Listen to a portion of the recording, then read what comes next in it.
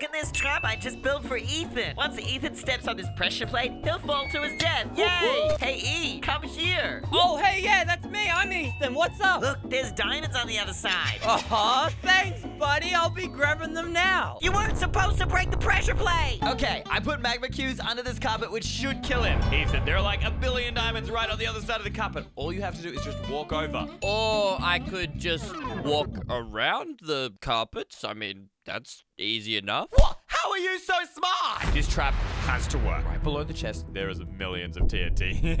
if anyone opens it, boom! Yo, Ethan, look at how many diamonds they are. Oh, wait, really? Let me see. Yo, wow, there was a lot here, dude. Thanks for the diamonds, bro. Wait, what? How are you flying? Oh no. No!